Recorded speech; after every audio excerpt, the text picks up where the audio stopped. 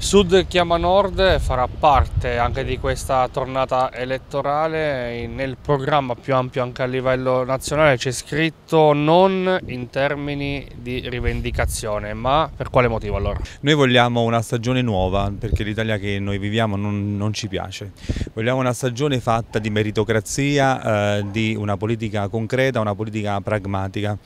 Noi abbiamo un'attenzione mirata ai territori, vogliamo che eh, chi nasce qui nel sud Italia abbia le stesse identiche opportunità di chi nasce nei territori più sviluppati, vuoi il centro Italia, vuoi il nord Italia. Non vogliamo più queste eh, finanziarie lacrime e sangue, vogliamo che lo Stato eh, sia eh, più equo, che noi, i nostri territori vengano distinti con un federalismo buono.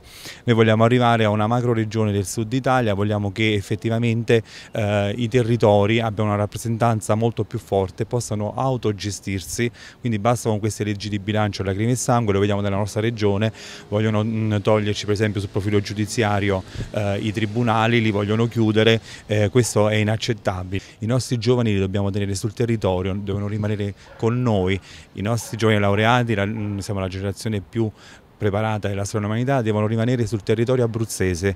Questa logica tutta nostra, tutta questa malattia abruzzese che le aree interne devono eh, contrapporsi alla costa e i servizi devono essere concentrati dove vivono più persone è sbagliato. Il decreto Lorenzin va abolito. Noi dobbiamo andare avanti sulla sanità, dobbiamo fare l'ASL unica. Sul fronte della sanità dobbiamo immediatamente riorganizzarci togliere i costi che non servono, metterli sulle risorse umane, noi ci interessa che il cittadino va in ospedale e trova il medico.